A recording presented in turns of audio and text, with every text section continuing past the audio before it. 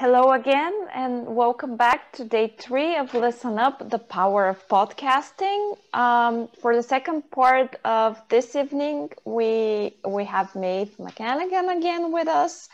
Um, I'm very excited uh, to have her with us. For those of you who also joined us for the first part of the conversation, she did an excellent job interviewing Paul Garana, Caruana Galizia about his podcast, My Mother's Murder. And this is something that you usually probably see her doing in her own podcast called The Tip Off, which brings us behind the scenes of big investigative stories. She is an investigative reporter herself with the Bureau of Investigative Journalism in, in the UK. And um, uh, some of her work appeared in The Guardian. She did stories for BBC Radio, etc. And she's not just writing story dolls, she's looking for new ways to tell stories and have a very innovative approach to uh, bringing stories about domestic violence to live audiences around the UK. Um, and she's trying to do that uh, as well with, again, her podcast, The Tip Off, uh, but without further ado, uh, I want to give the floor, or the Zoom in this case, uh, to Maeve. And um, I'm looking forward to hearing more and learn, learning more of how you do your podcast. So take it away. Thank you so much. And hi, everyone. Um, and welcome back to those who were in the previous session. Of course, the great thing about podcasting is you can go back and edit out all of the technical blips. Not quite the same with live uh, presentations, but hopefully um, we'll get through this one okay. I'm going to talk a little bit about my own podcast and then talk you through some of the storytelling techniques and the elements of, of how to put investigative journalism into a podcast format um, kind of tips of the trade, I guess, that I have learnt and, uh, and developed over the years. And we'll talk as well about some things to look out for when you're thinking about making these kind of podcasts. And we'll finish off with some recommendations. And indeed, if people have recommendations that they want to give, maybe you could uh, put them in the chat at the end. But um, I guess I am an example of a podcaster from the real the kind of grassroots level. So um, as was mentioned, I'm, I'm an investigative journalist and my day job is I work at the Bureau of Investigative Journalism here in the UK. But my podcast, The Tip Off, is completely independent and it really was a labour of love and came about because I think I had the idea sat in a pub talking to friends one evening. And once I had the idea, I kind of just had to run with it. And the concept was, you know, the product, the end result of investigative journalism is always fascinating. Um, what people present, what people find out is really, truly very interesting. But what else is really interesting is all of the work that goes into it behind the scenes. Um, you know, I would I have a lot of friends who work as investigative journalists, and we would sit around and they would tell me about the time they were undercover and their wig slipped off and they had to, you know, panic and, and think of a way to cover it up, or the time they were trying to um, doorstep someone and they spotted that there was a garden gnome in the garden and that was the clue that they needed to tell them this was the right person. You know, all of these behind the scenes. Um, colourful elements that wouldn't ever make it into a final story, uh, but that I thought was really interesting. So once I had that idea, I decided I was just going to start um, making this podcast. I make it on my own. I have very basic equipment. I started using just a free software called Audacity and taught myself to edit. Uh, you can certainly hear that in the first couple of episodes. It's me making it up as I go along. And later on, I brought in uh, some people to help me edit and, and make it sound a bit more professional. But that's all just to explain that you don't need a huge budget.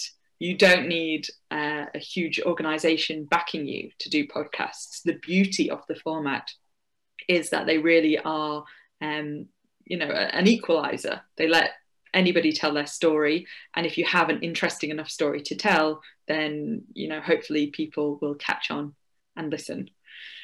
So I'm going to try and share my screen with you all so we can go through a presentation and I'm also going to try and play some audio clips. So fingers crossed this works. Let me go share computer sound.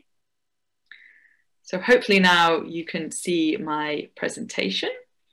Um, let me just start this slideshow and we'll get going.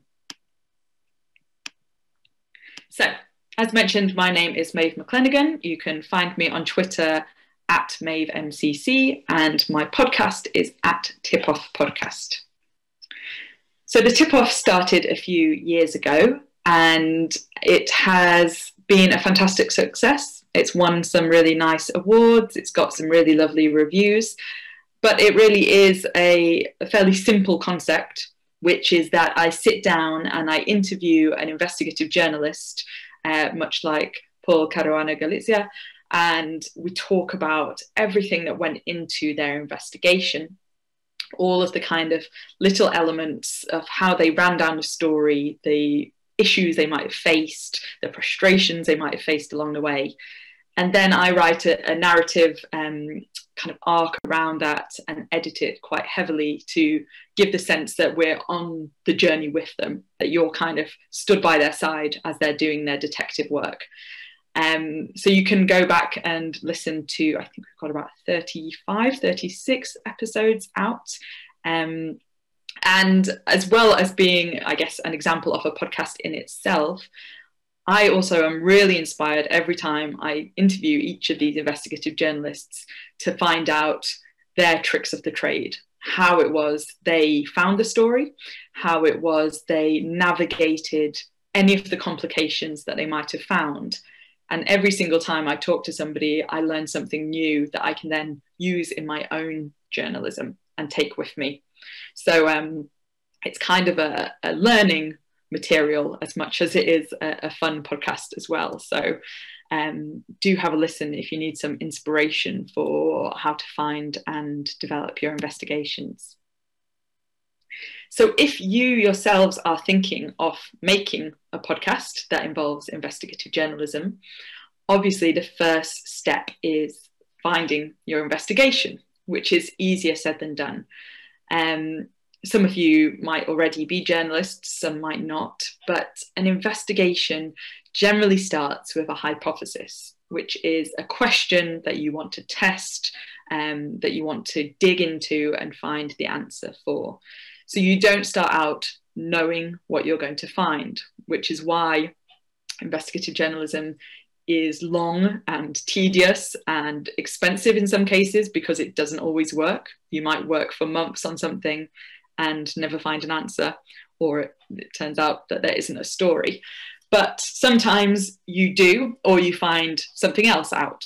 So you start with your hypothesis, and I often come across mine by uh, sometimes it's by reading the news and almost reading in between the lines of stories and thinking, what what isn't being said here, or how did this come to be, or um, yeah, you know, what's going on behind the scenes that we got to this point. So that can help draw things out. Or it might be talking to sources and they bring you something. In some cases, you might get a fantastic leaked document or, um, you know, a huge data dump like the Panama Papers, but those are few and far between often.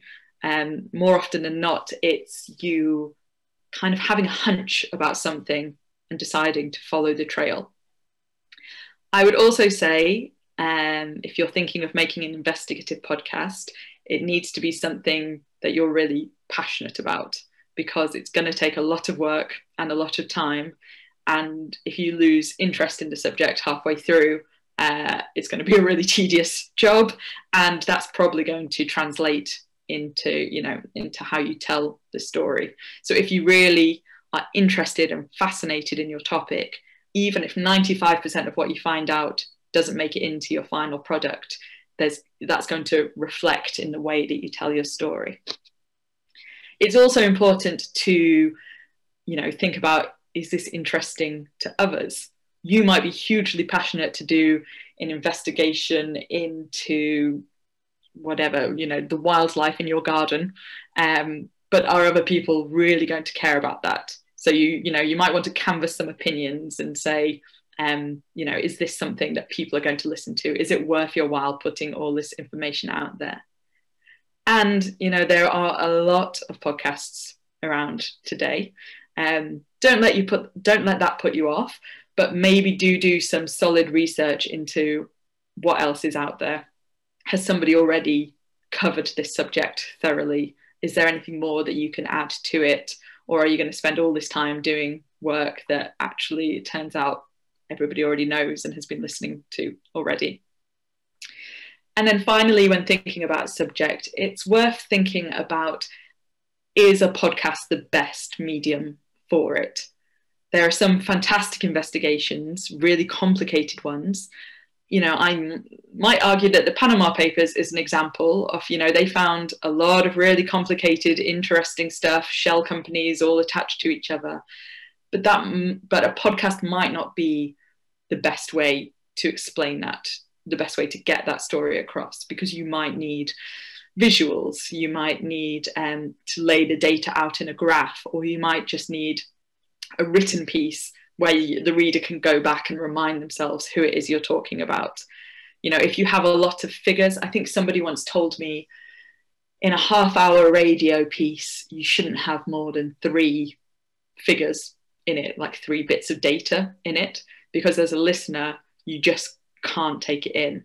If you're saying there was a 52% increase and this number and 5 million pounds and etc etc you're just going to lose people and the great thing about podcasting is, you know, it's a really intimate experience of listening. People are, you know, carrying your voice around in their ears, but at the same time, they might be doing the dishes, they might be picking the kids up from school, they might be driving.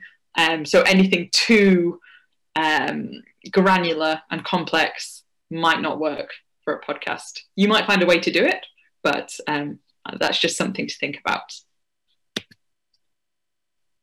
Now, I, I couldn't possibly train you on how to do an investigation in an hour um, or a week or probably a month. Um, but some techniques you might use um, are things like freedom of information requests, if those exist in your country.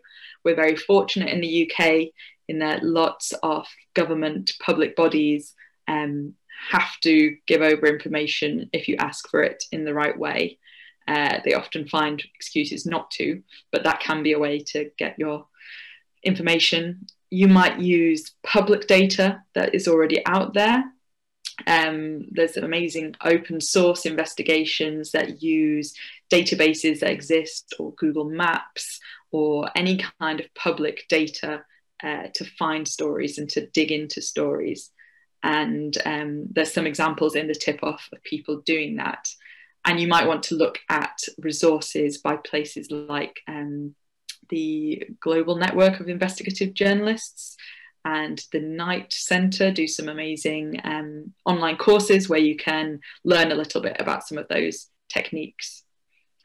Another classic one, of course, is doing interviews and um, uh, yeah, just talking to sources. And uh, that's quite, you know, the classic classic way of doing investigative journalism. But finding those sources can be something in itself. You might need to use social media, find their Facebook profile, find their Twitter handle. You might need to use LinkedIn or something similar to find them online to make that initial approach. You might use public reports or create your own timelines. And um, you know, sometimes, for example, um, you know, in the story that, that Paul was talking about, my mother's murder, there's a lot of things that happen over a period of time. And to keep track of that, if you plot it in a timeline, you might notice that Yorgen Fenech pops up here and here and here and here, where you might not have noticed that if, if you weren't looking at it in a kind of linear way. And you might want to familiarize yourself with reading accounts and uh, company official reports to, to find out what they're saying and what's hidden in the small print someone once told me when looking at company accounts, um, start at the end and read backwards because it's always the little bits that they put in the kind of side notes where they hope that nobody has bothered to continue reading where the real juicy uh, details are.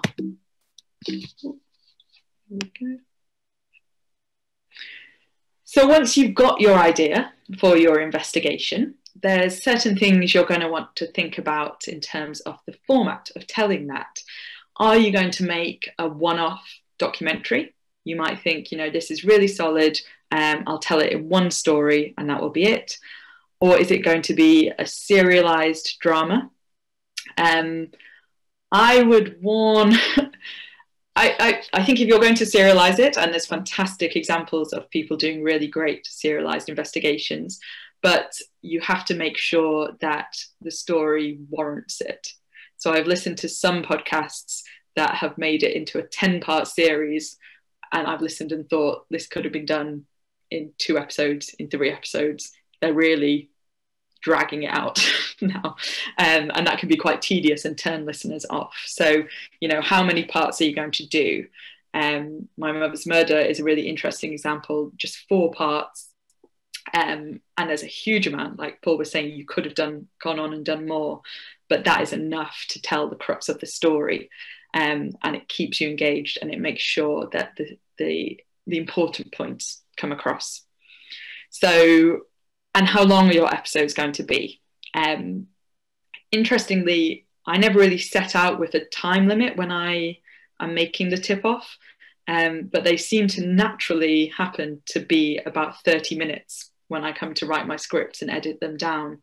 And I think that's just because, for my personal taste and my ear, that's about the the length of time that I concentrate for, um, the kind of the, it gives me space to tell a story, but it's not so long that I am getting bored and labouring the point.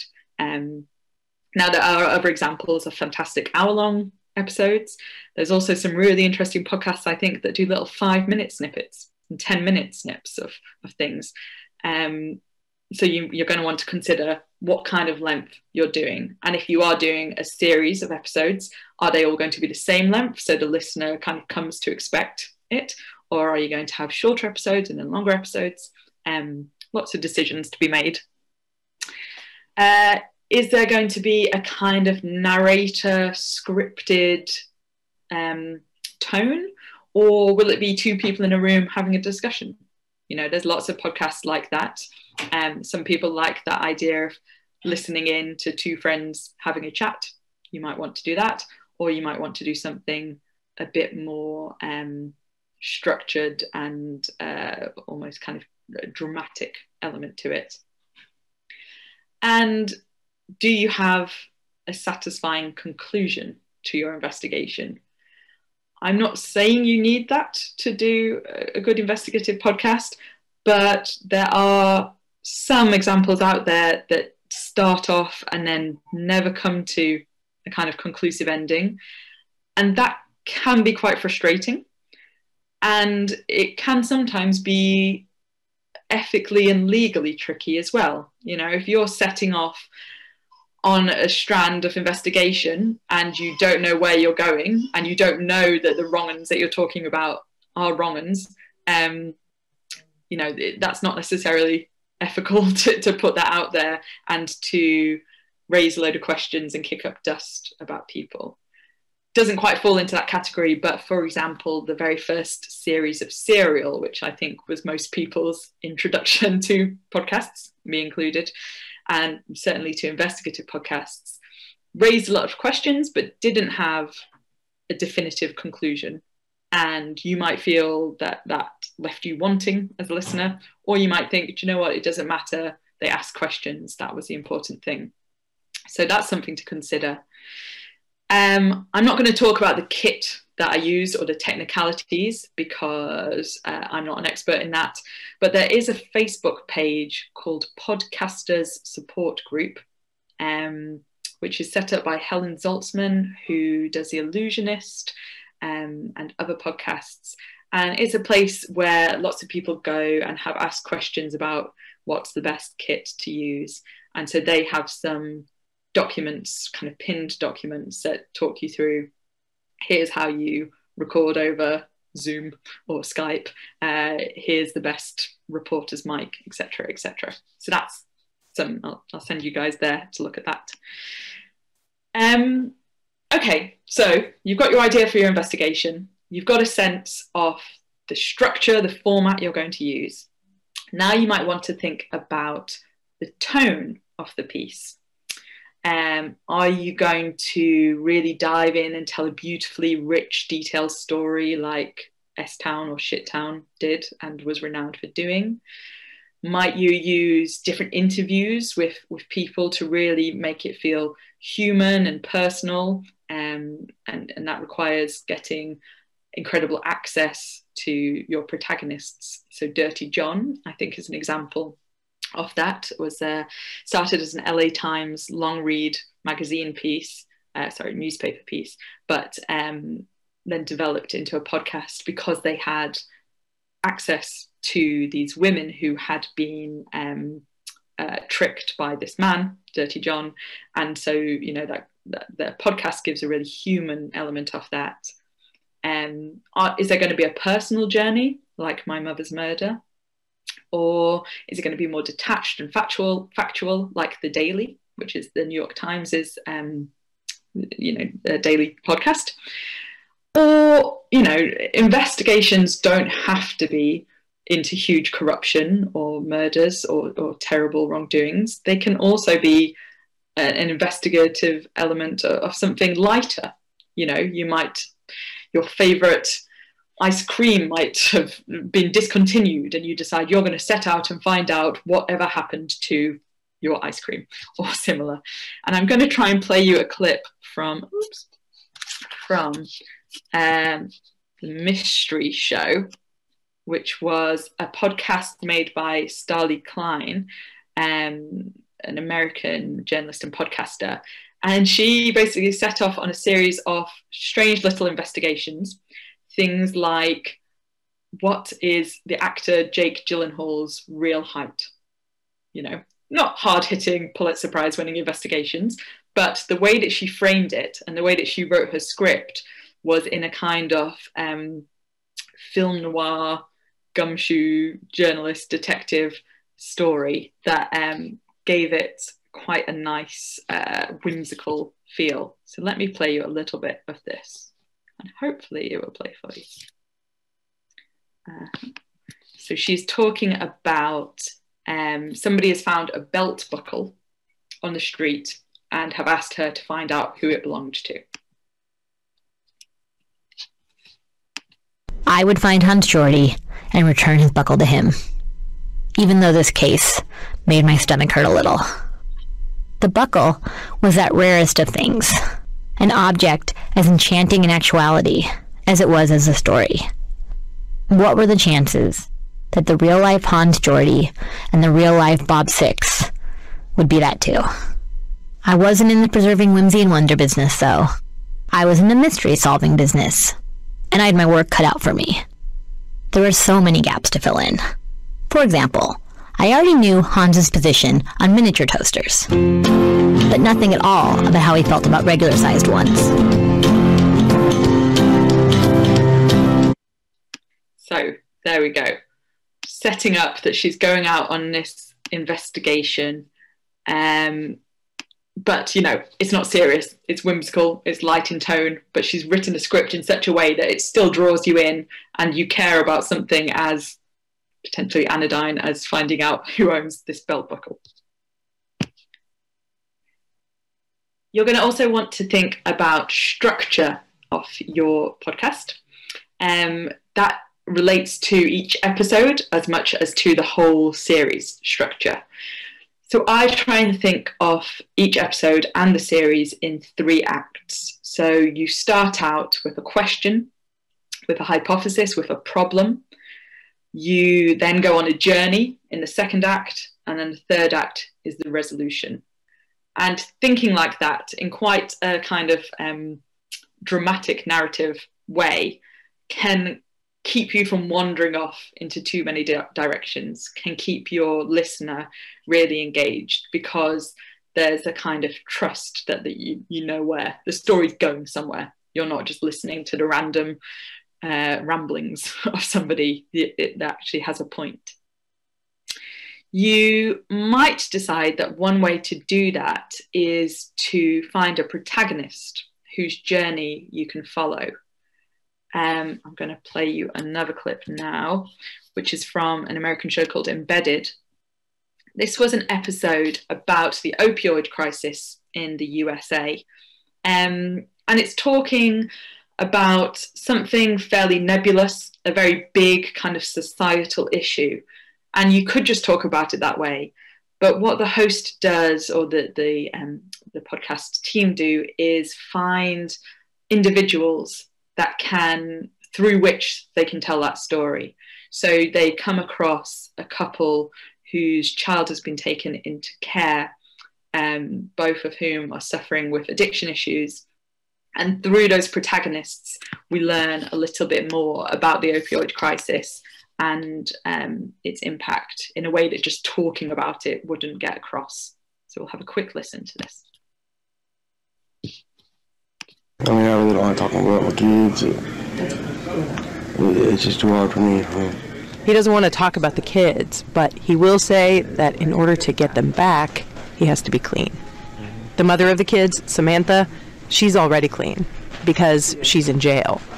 She was arrested on prostitution charges and pleaded guilty. And she's getting out, right? Devin says she gets out in a few days. I've got to change my ways right now in the next week before she gets out because she's been sober and clean for five or six months now, and she's not wanting to come back here to this place. So She gets it that she's like, I can't. She knows that if she comes here, that it'll be, it'll be an influence. So you're gonna try to get clean before she comes out. So there you go. Rather than talking about this in a uh, kind of um, big picture way, you go on a journey with those people. Uh, another classic documentary method is that you show, you don't tell. So rather than, you know, they're embedded, rather than them saying uh, opioid addiction affects lots of families and occasionally it can have impacts on children, etc. You know, they don't have to spell out to you because you learn it through these characters and through what's happening to them. Uh, in the same way, you might, and this is the beauty of audio and podcasting, you can use atmospheric tape so recordings of your environment to help position the listener where you are. So, um, you know, you're at a protest, you're at a riot, and you can hear people shouting and screaming. So, you, as the presenter, don't have to say, people were shouting and screaming, fireworks were going off. You know, you can let the listener fill in the blanks and and um, tell the story themselves which uh, is a really good tip, I think, is to not uh, patronize your listeners. Give them a chance to fill in the gaps and to feel like they're part of the storytelling technique. You might drop straight into the action, or you might give a, a kind of introduction. Um, I'll come back to twists because that's another section I'm going to play. Um, you might decide in your structure that you know if you're doing lots of uh, episodes, you'll have set segments. So, for example, Reply All is another US, sorry, lots of my examples are US based, which shows I listen to too many American podcasts. Um, but Reply All, for example, have a section called Yes, Yes, No. It's a technology podcast where they talk about, um, you know, do you understand this meme or this tweet? And that can happen in lots of episodes. Heavyweight is another show which starts with a phone call to his best friend in each episode and it gives a kind of structure to your series but it also takes some of the legwork off you when you're writing it because you know okay halfway through we do this bit every time. Um, and you know in structure you can use twists in a narrative. So you might not start at the beginning of the story and work linearly through to the end. You might drop in at a certain place loop back go back to the beginning and then carry on through. And I've done that in some examples of the tip off. You know, it helps to get the listener hooked in immediately. And Criminal, which is one of my, my favorite shows, um, does this brilliantly. You can be listening for a good five minutes before you know what the which what each episode is about, And I'm going to play you this, which is the start of one of my favorites, which I think is a really good example of this.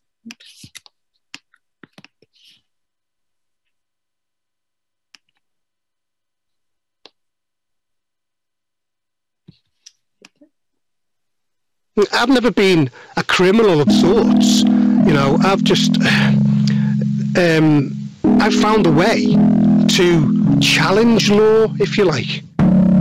This is Mark Roberts. You may never have heard of him, but his name and his face are well known to law enforcement all over England. Before every major event, they have a big speech about what to look out for, and I come up every single time. A big picture of me on screen. Everyone's given a picture of me to look out for me. You know, I, I'm looking at your Wikipedia page right now. I don't know. I, I don't know who wrote that. It certainly wasn't me, and a lot of it's not true. But there is this naked picture of you. Yeah. Oh, that's definitely me then. Mark. I'll stop that there. But as you can see, it goes on. Um, so that that that introduction carries on for quite a bit, and you as a listener are listening and thinking, "What on earth is happening? Are they talking to you know? Is this guy a terrorist? Is he a prolific pickpocket? What you know? How is he a criminal?"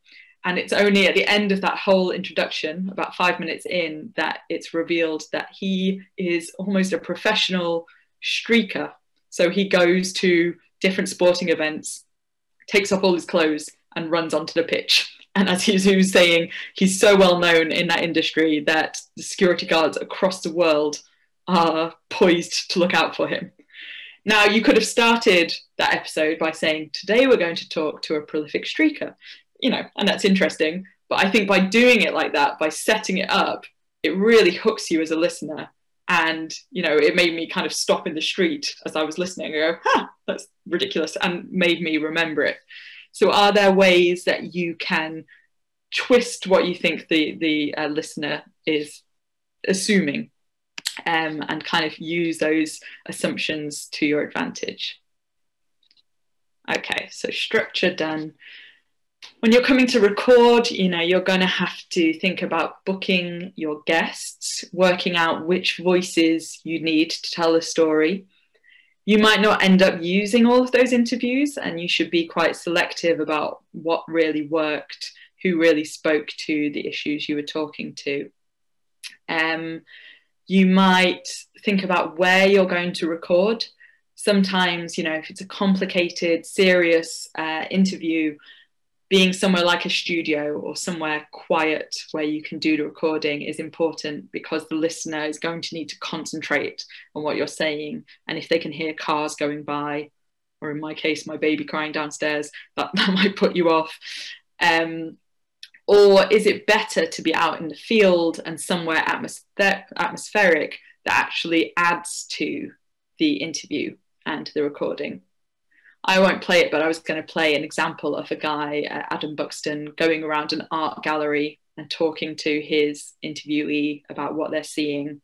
Um, and it doesn't matter that you can hear their footsteps and it doesn't matter that you can hear people bustling in the background because that's the whole point is you're there with them. Uh, but if that went on for 30 minutes and they were talking about something serious, the ear might start to get tired and you might turn off. So think about that you know, doing a good investigative interview is a skill in itself and it's something you're going to learn as you go along. But you're going to want to think carefully about how you plan your questions. You know, do you go in aggressively at the start if you're challenging somebody? Are you trying to tease out information that you don't have? Or are you trying to pin them down and get them to um, to kind of say something that that will put them in the frame for it. So, you know, plan your questions accordingly. You might want to start softly, softly, and then get more serious, um, or you might want to get straight to the point. Some people might say they want to, you know, see the questions beforehand, and that's a decision you have to make. Are you going to give them prior warning, prior knowledge? I don't. And the reason I don't is not always because I'm trying to trip someone up. Um, that's that's not always the case, but you don't want people, or I don't want people to sound rehearsed when they're giving their answers. And sometimes, you know, if you've given them what you're going to ask, you might get the kind of press office response, PR response, where they're almost reading from a piece of paper and you can hear it in their voice. So sometimes I'm thinking as they're talking um, is is a nicer way to, to listen to it.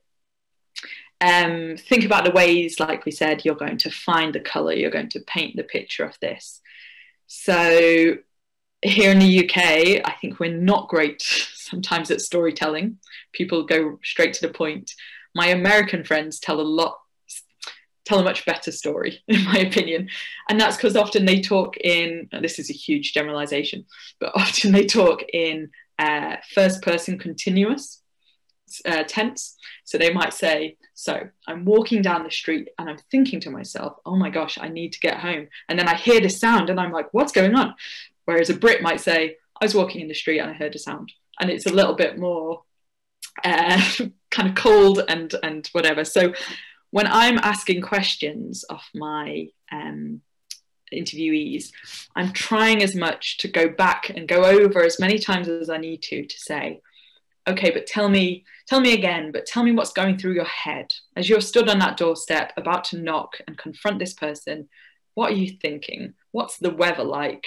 what had you done just you know how had you arrived at that interview what what were, what was going through your mind were you having a good day were you thinking about what you were going to have for tea you know help us to get into that moment and paint that picture for us and that can mean you go over and over the same question again and again and people might get a bit confused and think I, I think i told you this but you're as a with your producer ear trying to listen so that they're telling you you know enough detail that as a listener you feel like you're there in the moment with them. Um, and that can be really important for investigations because there can be a lot of dry detail and you kind of really want to get people in and feeling the the drama of what's happening and get them really engaged with the minutiae of every single moment. And like i said before you know you can use atmospheric tape to do that as well. Um, sometimes you might go back and you know you, you, might not have been able to record enough at that moment. Uh, you might go back and record some noise of the the traffic sound or the tu- uh, the train station whatever it might be afterwards or you know i've worked on podcasts before where my producers have told me the moment you step out of your hotel room set your microphone running and keep it running. Um, and so you know you hear me getting into the taxi and shutting the door. You hear me fumbling for my change. You, you know we might end up not using any of that but it might just be that you need to use a few little clips like that to that you decide to tell a story of on the way in the taxi i was worried and you know you have the atmospheric tape to do that here's me ringing the doorbell I then have to make sure that I let people know that I'm recording. So I ring the doorbell, and as soon as they answer, I say, Hello, hi, I'm Maeve. I'm here to talk to you about this. I have got my microphone running. I'll stop that if you want, or is it okay? We'll just keep going um, to be free and open, unless you decide you're doing undercover and you feel like you have enough legal um, prima facie evidence and legal uh, understanding and backing to do that safely. Uh, otherwise, it's better to be upfront and to tell people you're recording when you're recording. Um, and then, you know, if you're going to do interviews, are you going to have several people in the room while you do the interview, or is it going to be one to one? Some things to think about. Um, we've talked a little bit about uh, the journey, the kind of story arc, but that's something that might come out in the scripting. So you've gone out, you've collected all this tape, you might have tran well I, I try to transcribe it all. I try to make notes especially if I'm going out and hitting record when I leave my hotel room um, and leave my recorder running for hours. I try to take notes that oh about two hours in um, that's when I rang the doorbell. Or about halfway through the interview they said something really interesting i'm going to make a note now so that later when i have hours or days of tape i can remember the one thing I know that this person told me, and I have it here in my notebook, is around halfway through the interview. So I'll go back and find it that way.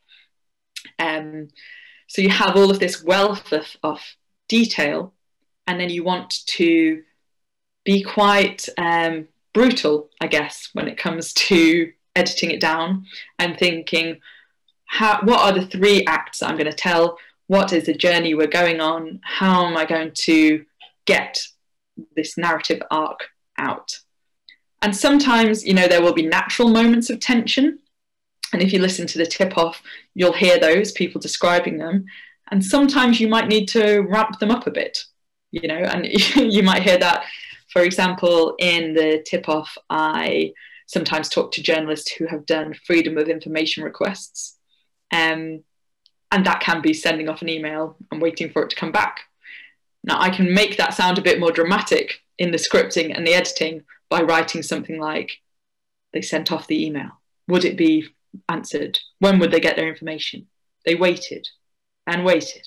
And then finally, here, you know, you can write your script to kind of ramp up the drama a little bit in that way.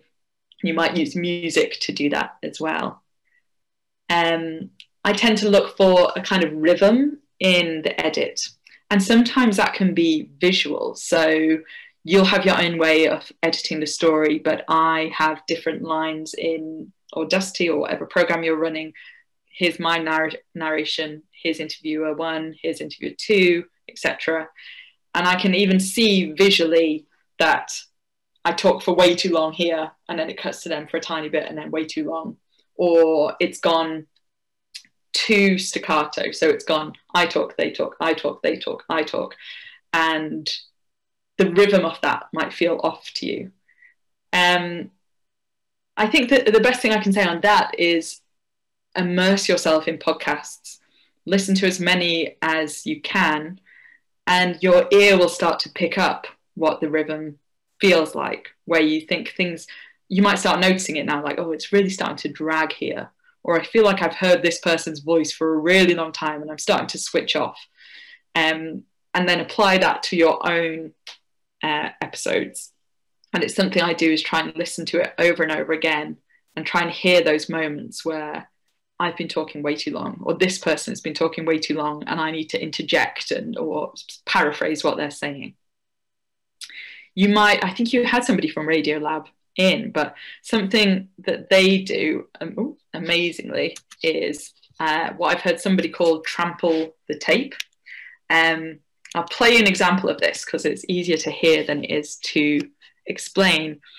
But it's that really radiolab um, uh, style that they have of really kind of quick interjections um, between the hosts and the interviewees. So we'll listen to a little clip. Doesn't really matter what they're talking about. It's a kind of science experiment, I think, about listening of how plants uh, grow. But just listen to how they have spliced the interviewer, Robert Krulwich, the, the um, I think I'm saying his name right, the, the, the host, with the interviewee. And um, yeah, take a listen. Here we go. Monica thought about that and designed a different experiment. Again, if you imagine the, the pot, my experimental pot. With the forked bottom. Yeah, but then have two very different options for our plant. On one side, instead of the pipe with water, she attaches an MP3 player with a little speaker playing a recording of the sound of water. And then on the other side, Monica has another MP3 player with a speaker, but this one plays nothing. So she's got her plants in the pot. And- so there we go.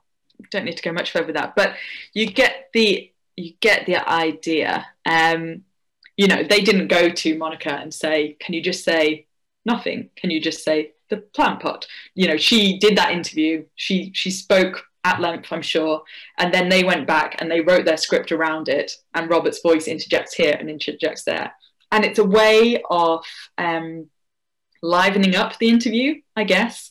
For me as a listener, it really keeps my ear engaged. Sometimes it can be done too much. My partner isn't a fan of it. He's sometimes like giving me a headache to hear so many different voices. Just tell me the story. But it can be a way that you think, you know, let's let's get this a bit more engaging. And sometimes if you've done a really important interview, but somebody has maybe delivered it in a slightly monotone way, or they haven't kind of imbued the right sense of urgency to it, you could use that kind of technique to make sure their voice is still included. Um, but you're helping to write around what they're saying to, to liven it up a bit. Uh, you might decide to use music or special effects. Uh, I talked a bit earlier about using, you know, stories with a lot of data, a lot of facts and figures in, or figures particularly, can be hard to tell. You might think about sonification of data. Um, Reveal, which is another US podcast, did an example of this, which I will play you because I just think it's really interesting. It takes a lot of, um, probably a lot of time and resources, but it's a way of kind of using musicality to present big data. Uh, sorry, not big data, to present data um, in a way rather than explaining it, you kind of let it tell its own story. So, I hope I have this one. Yeah. This is Reveal talking about um, earthquakes in, I think it's in California. Um, and they make this bit of music, which is every time in a kind of timeline, every time there is an earthquake, you hear a tone. And depending, and they explain this in it, uh, depending on how high or how low that tone is, depends on how big the earthquake was. And well, just listen and see what, what you deduce from this bit of music about the frequency and the seriousness of earthquakes over time.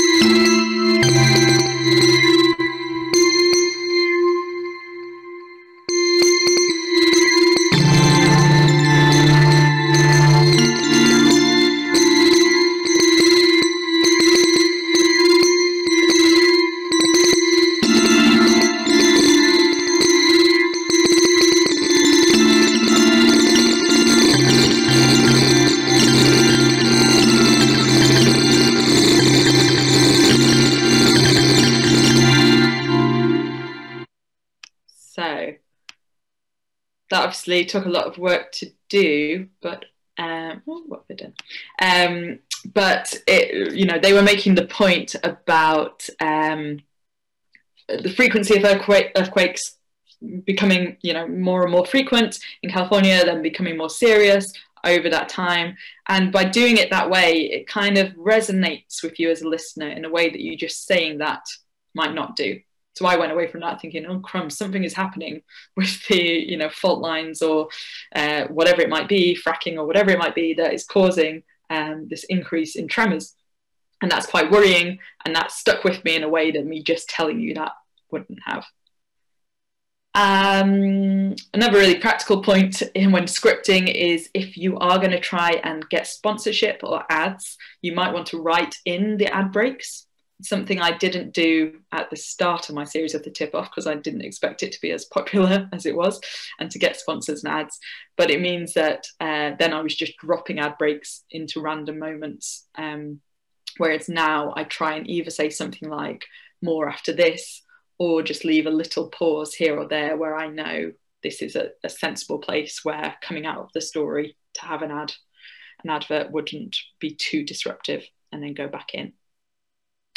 And you might want to think about are you going to try and present it with a natural voice or is it going to be more poetic? So, are you going to read from your script, which has every single word that you're going to say um, lined up? Or are you going to try and just have the bullet points and maybe just talk naturally? So, someone like Ira Glass at um, This American Life has that real kind of natural voice. I think they they script quite heavily, and I think he knows what he's going to say, but he's such a professional that it sounds like him just saying, "Oh, here we are in my room, and I'm having a chat." Um, but as somebody new to podcasting, you might find that harder to do. So you might instead want to just think, these are the points I'm going to get across, and I'll try and just chat about it. Or you might think, I really need to make sure that, you know, maybe this is legally sensitive. Um, maybe it's really complicated and I need to write out precisely what it is I'm going to say, or else I might get in trouble. And then obviously with investigations, you need to think about safety. So are your sources that you're including all protected? Um, that might be people who, you know, you quote or um, interview in the podcast or people behind the scenes. Could it be that they get into trouble by telling you what they've told you and how are you going to mitigate that? And are they aware of those issues? So, you know, if a source, a whistleblower, for example, uh, comes to me, I need to make sure that they followed the, the protocol in their organization. That means that they're protected. So that might mean that they need to raise their concerns with their line managers first and, and try and pursue the normal complaints channels. And then if they come to me after that, they have more protection legally than if they just um, kind of come out with, uh, come to me as the initial issue. Um, if they're sharing documents, have they shared them in a safe way? Uh, you know, are we using uh, PGP or some kind of encryption software, Signal or um, Proton Mail or something to share the documents? Is there any way that it can be traced back to their own computers, you know, their work computers? The um, that their their IP addresses, whatever it might be, the printers. You know, I think I can't remember who it was, but there was some case where one organisation published a visual off a printout that had been given, and the organisation was been was able to tell because of the, something about the printer who it must have been, and that person then got in trouble. So you can't be too cautious when it comes to source protection. Um, and you have to be completely honest with your sources and they have to be aware that you know that there might be consequences to them them them talking to you uh, if you're going to anonymize them and you tell them you're going to anonymize them how are you going to do that so i did a, a podcast about um, women fleeing domestic violence and decided that you know even though these women some of them wanted to tell their story uh, you know, and they said, can we just change our names? And I thought, you know what, if it were me and it was my, you know, if I was listening to somebody I knew very well, and even though they'd changed their names, I might still think, hang on, that's X person talking. And you might still be able to identify them, even if they don't think they're identifiable. And who knows, you might hear the train announcer in the background or some bit of information that gives away their uh, their location.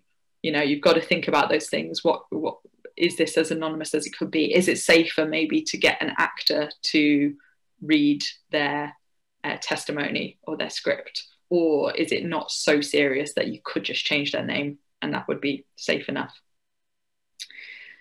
You know, you're, reporting. I, I don't know how many of you are journalists, but those of you that are out there, you know that you need to be fair and balanced you don't want to just pick out the bits of information that agree with your hypothesis. You're trying to challenge it. You're almost trying to um, disprove it because if you find that you can't, then you know that you've really got something good.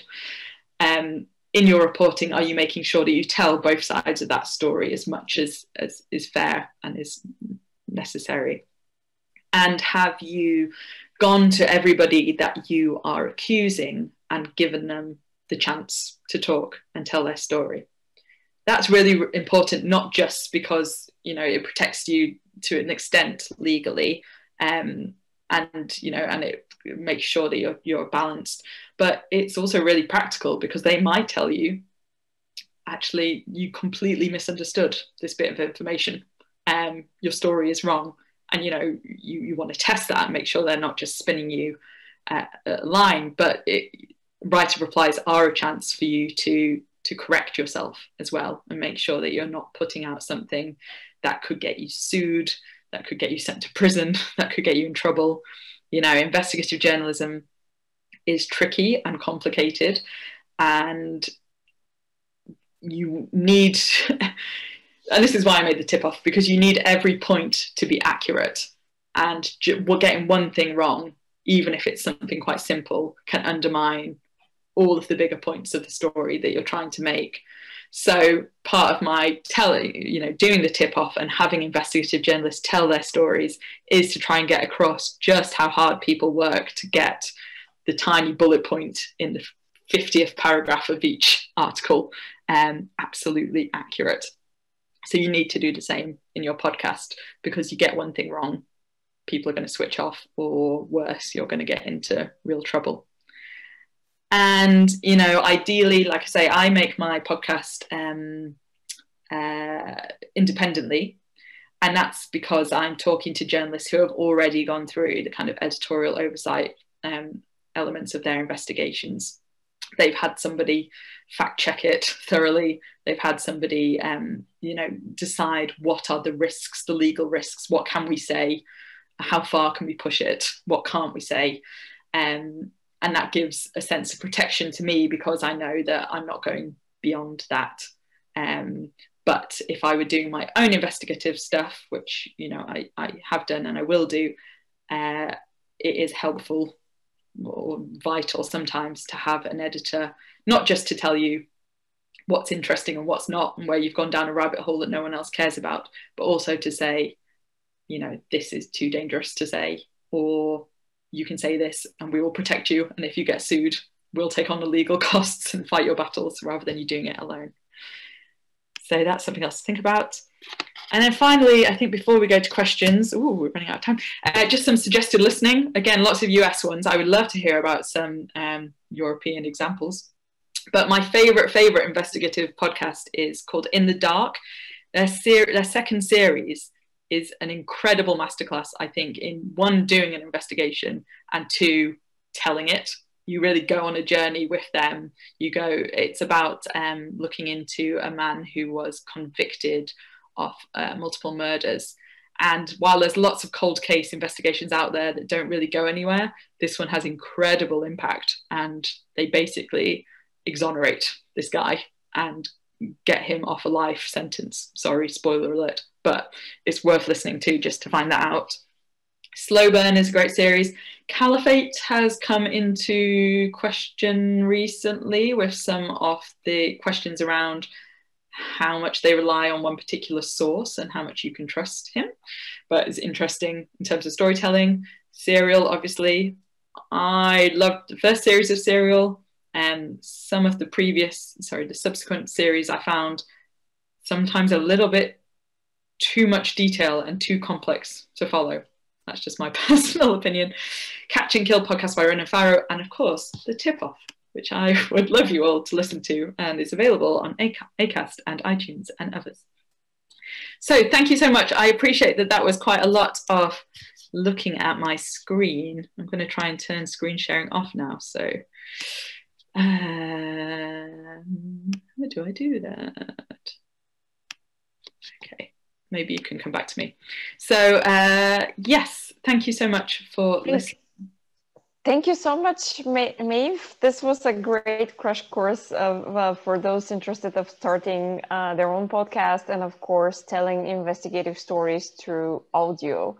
Um, because we're almost out of time, even though I can keep asking you questions for another hour, um, I just wanted to uh, touch on something. You mentioned that in the US, this is um, a genre that is used by investigative journalists. Uh, for example, uh, you uh, played a clip from The Reveal. They have been doing investigations for quite a while um, using audio. Of course, we all know about serial.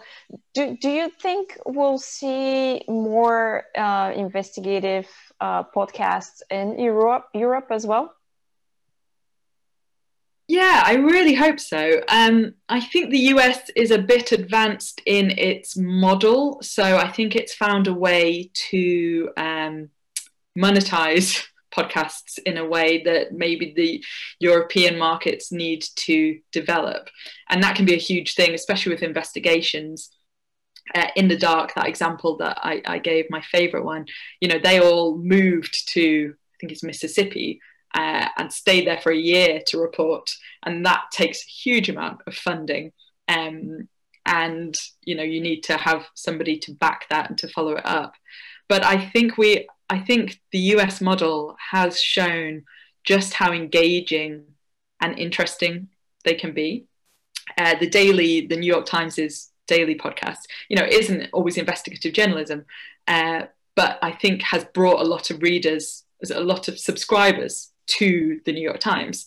Um, and has shown the benefits of of what doing that you know how you can reach new audiences and reach them in different ways so i'm really hopeful that that european model will continue. And please people do let me know if you um, if you hear of great european ones. My my language skills uh, aren't too developed but if there's any english or spanish language ones i would love to hear.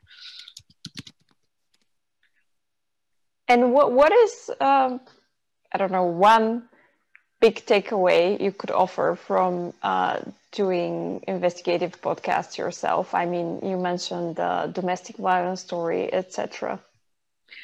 I think it is. Um, it's a really beautiful medium to tell intimate stories in a really interesting way, and you can get access that you might not get with a film camera, for example. People tell you things if you have a microphone and they sometimes forget about the microphone or they don't feel as intimidated as if they're on camera. But you can set the scene in a much easier and sometimes more engaging way than you can in a written piece.